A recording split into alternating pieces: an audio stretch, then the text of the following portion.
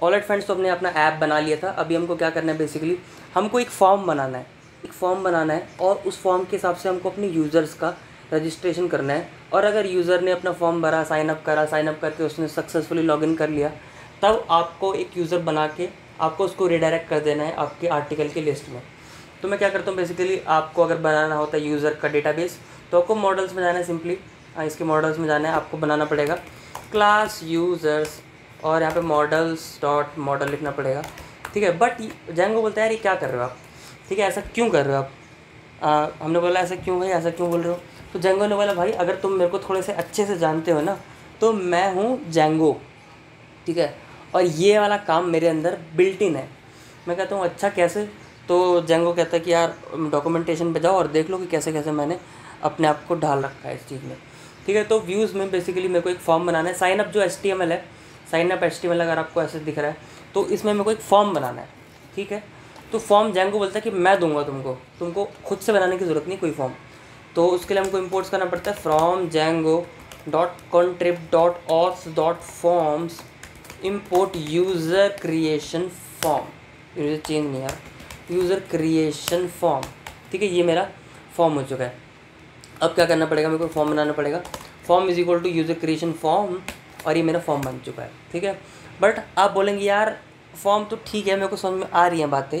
But एक बात होती है, एक बात होती है कि यार, एक ना एचटीएमएल होती है फॉर्म के अंदर। वो एचटीएमएल थोड़ी दे देगा Django Django is back end but Django बोलते हैं, नहीं भाई, मैं एचटीएमएल भी देता हूँ तुमको, तुमने क्या समझ रखा है मेरे को? तो एचटीएमएल अगर पास करनी है तो किसी एच में अगर कुछ डेटा पास करना होता है तो मैं एज अ डिक्शनरी पे पास करते हैं।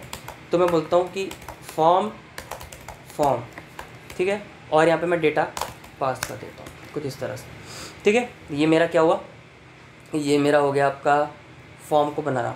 तो अब मेरे साइन अप में मेरा फॉर्म आ चुका है। जो मैंने फॉर्म बनाया यूज़र क्रिएशन फॉर्म मेथड की मदद से, एक ऑब्जेक्ट बना के तो वो मैं पास कर रहा हूँ अपने sign up dot H T M L में। अब मैं जाऊँगा sign up dot H T M L में। यहाँ पे मेरे को फॉर्म बनाना पड़ेगा तो मैं बनाऊँगा फॉर्म और इस फॉर्म के अंदर मैं जो जेंगो ने फॉर्म दिया है, वो मैं भर दूँगा। ठीक है? और मैं इसको रिलोड करूँगा। और जब मैं यहाँ पे इसको रिलोड करूँगा खटैक से ये देखो क्या आ रहा है यहाँ पे। पूरा फॉर्म आ रहा है। देख लो फ्रंट एंड दे दिया पूरे जेंगो ने। जेंगो ने आपको एक तरह से पूरा फ्रंट एंड ही दे दिया है। इससे बढ़िया बात और क्या ही हो सकती है। खैर, बहुत बढ़िया फ्रंट एंड नहीं है बट स्टिल बहुत ही धमाकेदार काम तो जेंगो ने करके दे दिया मेरे को। अगर इसमें, आप इसमें ध्यान से देखें तो इसमें सबमिट का बटन नहीं है। तो वो सबमिट का बटन मैं खुद बना लेता हूँ। इतना तो यार कर ही सकते हैं ना। इतना तो चलो कर ही सकते हैं हम लोग। इनपुट बना लेते हैं इनपुट और इसका टाइप क्या होगा? टाइप इक्वल्स टू सबमिट ठीक है ये सबमिट हो गया। फॉर्म है ये। फॉर्म का एक्शन अब रख लेते हैं कुछ। फॉर्म का एक्शन होगा ये खाली ठीक है? यही होगा। फॉर्म का एक्शन इज़ इक्वल टू खाली। अब मान लो कि इसको रिलोड करते हैं हम लोग और रिलोड करके हम सबमिट पे कर, क्लिक करें। कुछ ना कुछ भर देते हैं यार इसमें जयंत और इसमें मैं डालता हूँ वन टू थ्री इसमें डाल देता हूँ वन टू थ्री और मैं इसको सबमिट करता हूँ। तो वो देखो ये देखो क्या हो रहा है ऊपर। ऊपर क्या लिखा रहा है? ये ऊपर कुछ डे हमारा जो डेटा उसमें दिख रहा है उसको। तो पासवर्ड वन पासवर्ड टू नाम से कुछ दिख रहा है उसको और नाम दिख रहा है। ये ना बहुत ख़तरनाक चीज़ है। तो क्योंकि हमारा क्रेडेंशियल डेटा है, ये बहुत ही इंपॉर्टेंट डेटा है। ये दिखना नहीं चाहिए किसी को। सिक्योरिटी का सवाल की बात है। तो हम क्या करेंगे, इसका मेथड चेंज कर देंगे। हम बोलेंगे इसका मेथड यार पोस्ट कर दो यार। है ना, गड़बड़ मत करो। और ठीक है। ठीक है, हम फिर से आएँगे बाहर, पीछे आएँगे। चीज़ों को रिलोड करेंगे। यूज़र नेम मेरा जयंत होगा। पासवर्ड मेरा वन टू थ्री ये मेरा वन टू थ्री सबमिट पर मैं क्लिक करूँगा। तो ये देखो C S R F verification की बात आ गई अब।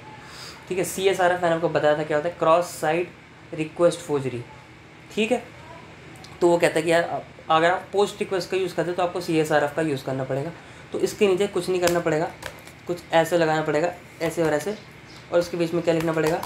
C S R F token ठीक है C S R F token आपको ये लिखना पड़ेगा।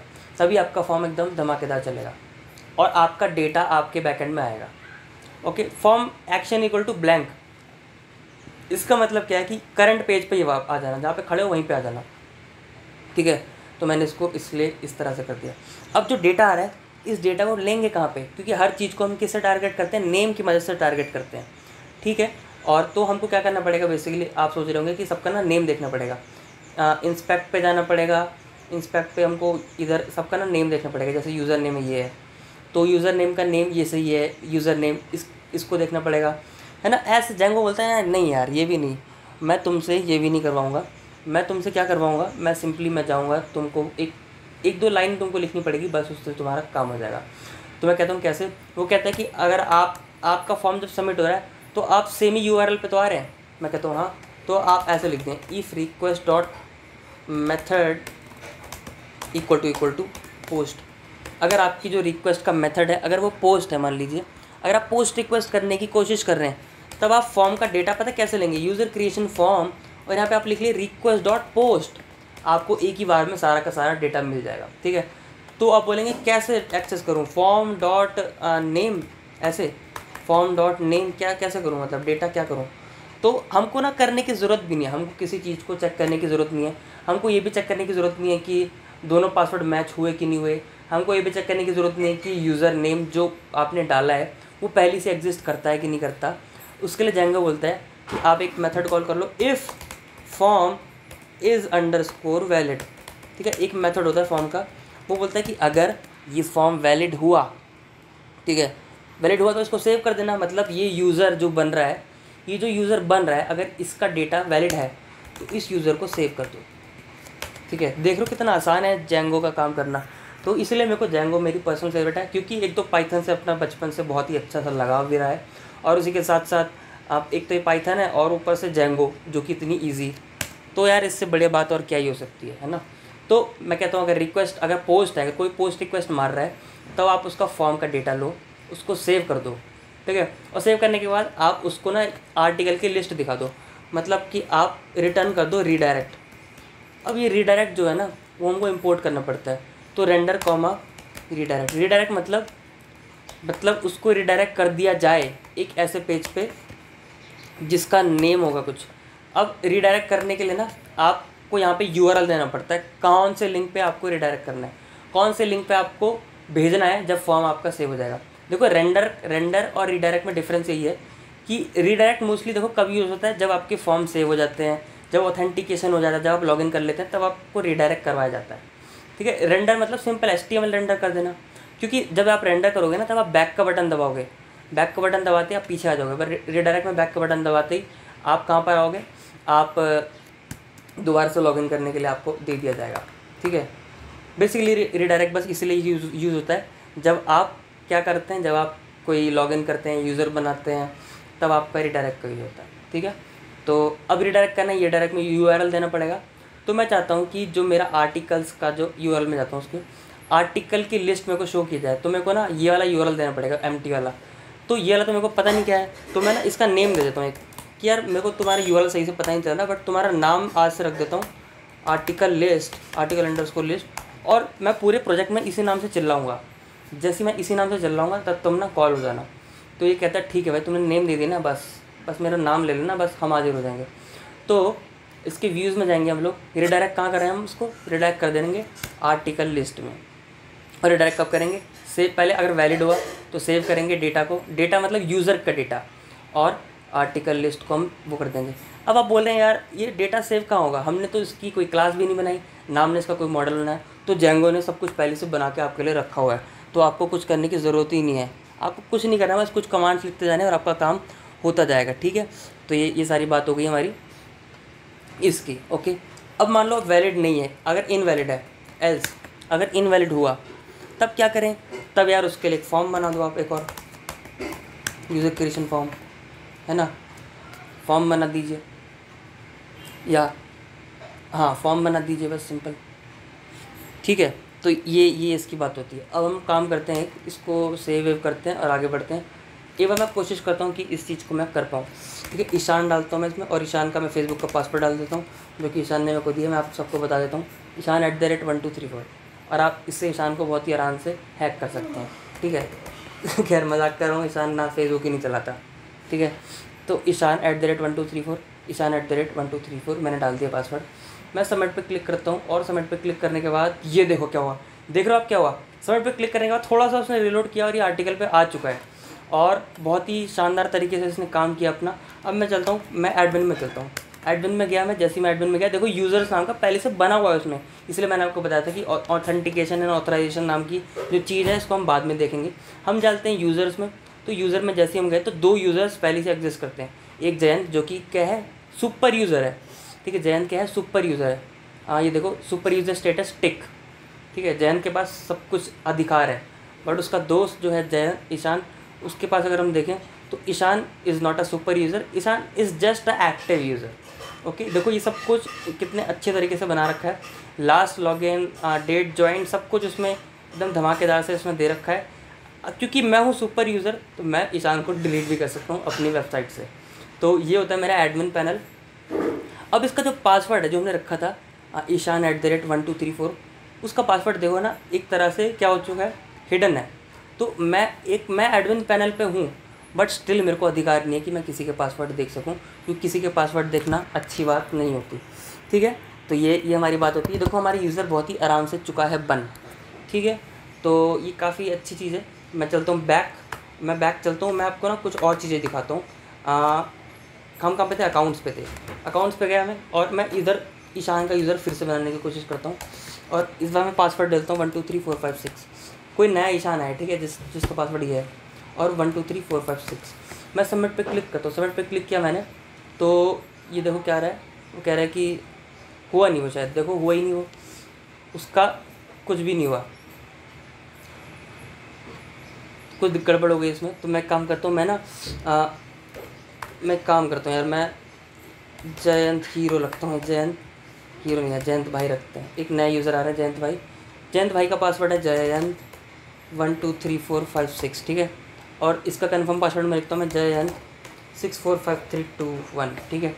सबमिट पर क्लिक करता हूँ। तो ये देखो फॉर्म सबमिट ही नहीं हो रहा। ये फॉर्म सबमिट हो ही नहीं रहा। गड़बड़ आ रहा है बार बार। बार बार बार बार मेरे को ये गड़बड़ दिखा रहा है। तो आप लोग समझ सकते हैं कि अगर बार बार वो गड़बड़ दिखा रहा है तो क्या है कि फॉर्म सबमिट नहीं हो रहा। अब क्या गड़बड़ दिखा रहा है वो? मतलब क्या दिक्कत आ गई आपके फॉर्म में? वो शो भी तो करना है कि यार आपका यूज़र नेम ऑलरेडी टेकन है या कुछ क्या है तो उसके लिए क्या करना पड़ेगा बेसिकली मेरे को, उसके लिए सिंपली मेरे को, जैसे आपका अगर इनवैलिड हुआ फॉर्म तो आप एक फॉर्म बनाएँ, उसी वक्त और रिटर्न कर दें रेंडर ठीक है रिटर्न कर दीजिए रेंडर रिक्वेस्ट और आप sign up dot S T M L sign up dot S T M L और यहाँ पे आप डेटा पास कर सकते हैं कैसे फॉर्म के हिसाब से। फॉर्म और यहाँ पे फॉर्म ठीक है। अब मैं इसको करता हूँ रिलोड रिलोड किया मैंने। अब मैं यहाँ पे चलता हूँ ईशान लिखता हूँ यहाँ पे। मैं one two three four five six seven eight nine लिखता हूँ। One two three four five six seven eight nine लिखता हूँ। सबमिट पे क्लिक करता हूँ। सबमिट पे क्लिक किया देखो अभी भी नहीं आ रहा वो। ठीक है? तो आ, बेसिकली ये जो होता है मैं इसका आपको बताऊँगा। ये क्यों नहीं आ रहा मैं अभी देख के बताऊँगा। बेसिकली मैं करना ये चाह रहा हूँ कि आपको शो हो जाए कि दिक्कत कहाँ आ रही है। ठीक है? अभी अभी तो बिल्कुल सब कुछ ठीक है। सब कुछ एकदम धमाकेदार तरीके से चल रहा है, वो आगे बढ़ नहीं रहा है। मैं आपको अगर और और यूज़र बना के दिखाऊँ मैं तो मान लो बिल गेट्स नाम के यूज़र हमारे पास आ रहे हैं। बिल गेट्स और बिल गेट्स का पासवर्ड है one two three four five six seven eight nine ये माइक्रोसॉफ्ट में अपना यही पासवर्ड रखते हैं, ठीक है? One two three four five six seven eight nine और सबमिट पे क्लिक करेंगे तो थोड़ा सा घूमा और कुछ नहीं हुआ, ठीक है? कुछ क्यों नहीं हुआ? क्योंकि यार वो पासवर्ड जो था ना, वो बहुत ही ज़्यादा हल्का था।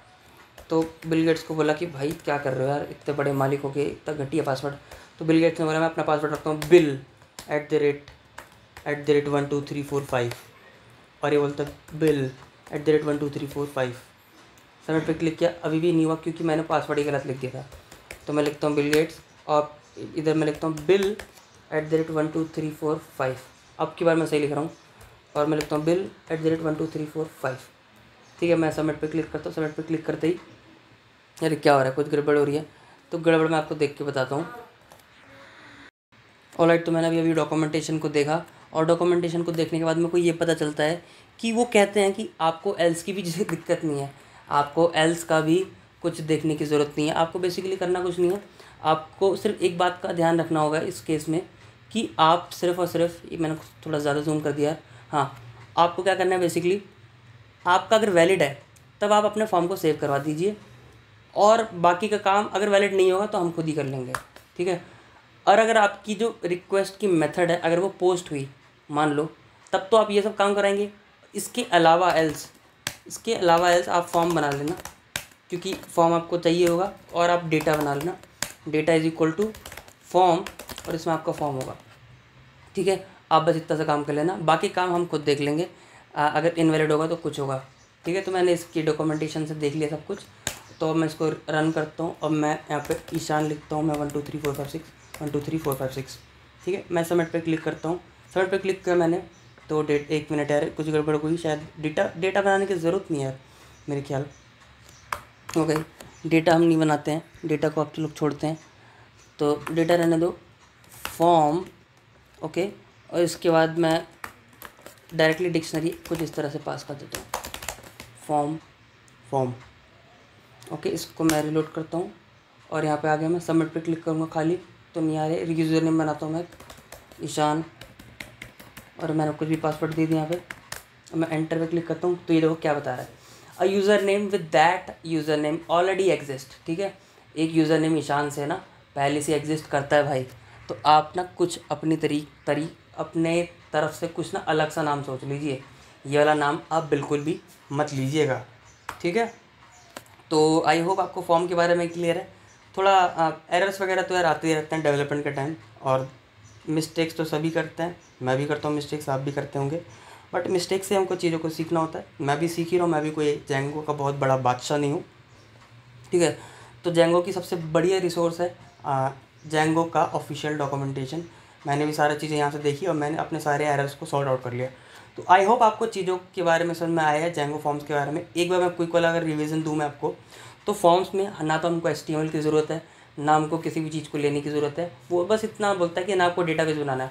बस इतना सा बोलता है कि आप मेरे को बस इंपोर्ट कर लो यूज़र क्रिएशन फॉर्म को। और आप मेरे को बोलना कि अगर आपकी पोस्ट रिक्वेस्ट है तो आप डेटा लेके वैलिड है तो सेव कर लो रिडायरेक्ट कर दो। और अगर आपकी पोस्ट मेथड नहीं है आपका गेट रिक्वेस्ट है, तब आप फॉर्म बनाओ और उस फॉर्म को आप भेज दो एस में। ठीक है, इतनी सी बात है, बस। आपको फॉर्म के बारे में इतनी पता होना चाहिए। तो मिलते हैं हम लोग नेक्स्ट वीडियो में। इस वीडियो के लिए इतना ही। तब तक के लिए बाय